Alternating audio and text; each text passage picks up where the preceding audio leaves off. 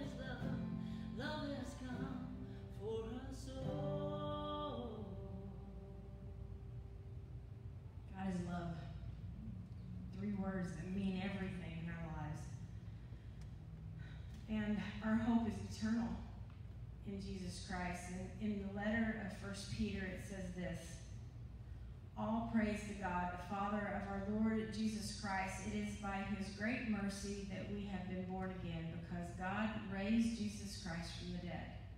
Now we live with great expectation, and we have a priceless inheritance an inheritance that is kept in heaven for you, pure and undefiled, beyond the reach of change and decay. And through your faith, God is protecting you by his power until you receive this salvation, which is ready to be revealed on the last day for all to see. So be truly glad there is wonderful joy ahead, even though you must endure many trials for a little while. And we're enduring trials. These trials will show that your faith is genuine. It is being tested as fire tests and purifies gold. Through your faith is far more precious than mere gold. So when your faith remains strong, through many trials, it will bring you much praise and glory and honor on the day when Jesus Christ is revealed to the whole world. You love him even though you have never seen him. Though you do not see him now, you trust him. And you rejoice with a glorious, inexpressible joy. The reward for trusting him will be the salvation of your souls. This trust that Peter's talking about, you know, he's comparing that to Thomas. Because Thomas said, you know, I need to see it to believe it, right? I need to touch it. And he's comparing that. He says, I you love him even though you have never seen him. Though you do not see him now, you trust him. And you rejoice with a glorious, inexpressible joy. And that's what faith is. It's it's taking that step when you can't see the step. It's it's being able to believe when you don't know the answers to the questions. And that faith is what we hold on to in the tough times. And we won't have all the answers. We have way more questions than we do answers. But Jesus Christ holds us close and helps us through those questions. And that faith is what gives us that hope. And then that we experience that joy. That joy that only Christ can give us.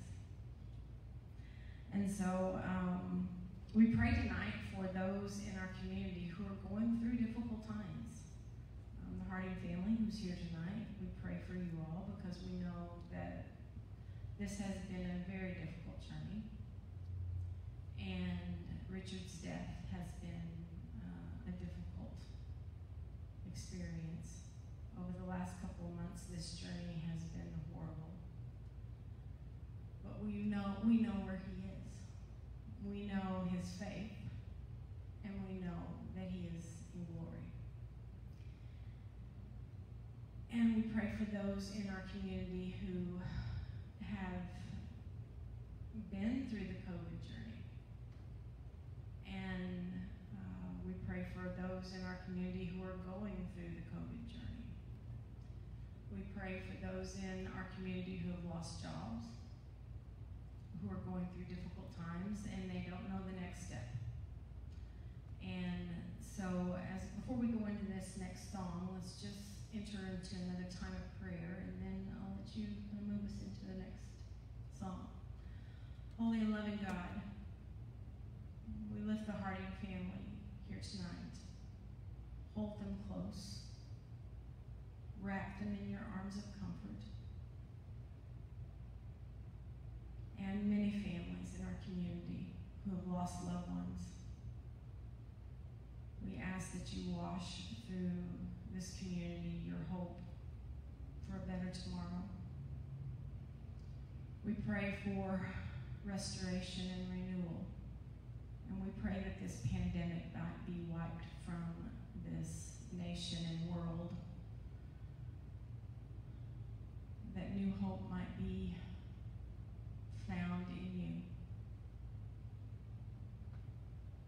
We pray for those who are hospitalized. We pray for the Lutz family. We pray for Brock tonight as he has had surgery today.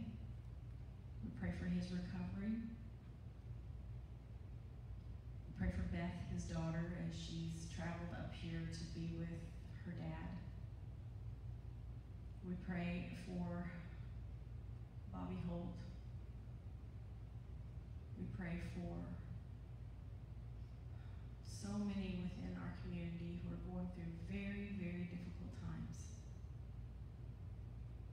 And so, gracious God, hold our community close, and for those we may not even know about but you do. You know the deepest hurts and the deepest pains. And we pray that you would use us and show us how we can be your hands and feet, how we can bring comfort in this time. And we pray this in the name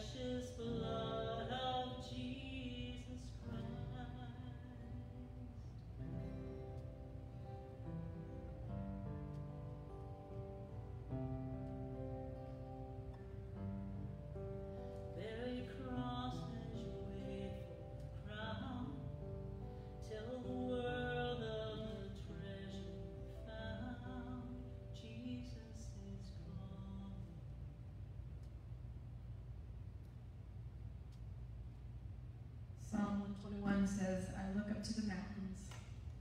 Does my help come from there? My help comes from the Lord, who made heaven and earth. He will not let you stumble. The one who watches over you will not slumber. Indeed, indeed, he who watches over Israel neither slumbers nor sleeps. The Lord himself watches over you. The Lord stands beside you as your protective shade. The sun will not harm you by day, nor the moon at night. The Lord you from all harm and watches over your life. The Lord keeps watch over you as you come and go, both now and forever. You have another song for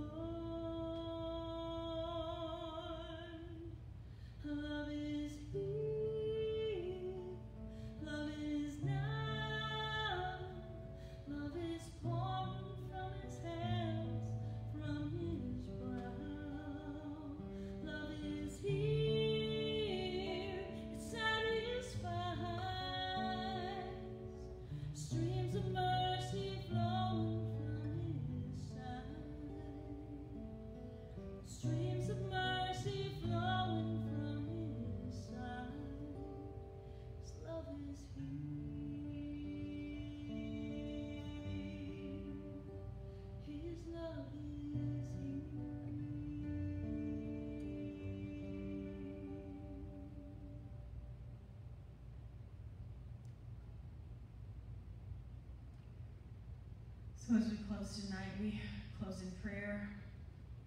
Holy and loving God, sometimes we don't even know what to say. But you said that when we didn't know what to say, that you even understood our groans. Help us to step out in faith to know that you are with us through every step. That your love is with us. It gathers us up and holds us close. We pray for our community, our nation, and our world, for our leaders, for our people. We pray that your word and your love might permeate every corner. People might really begin to understand what your love is really all about.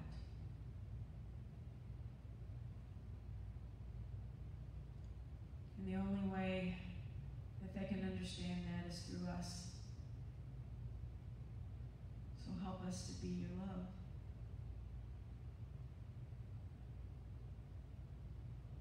Help us to be more love each and every day.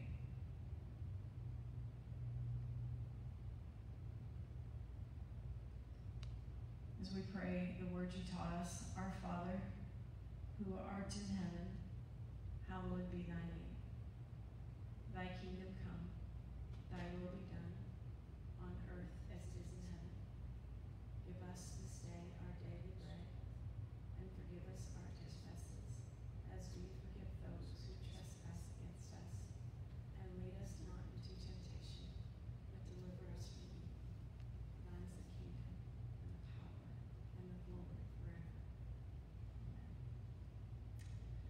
Well, good night.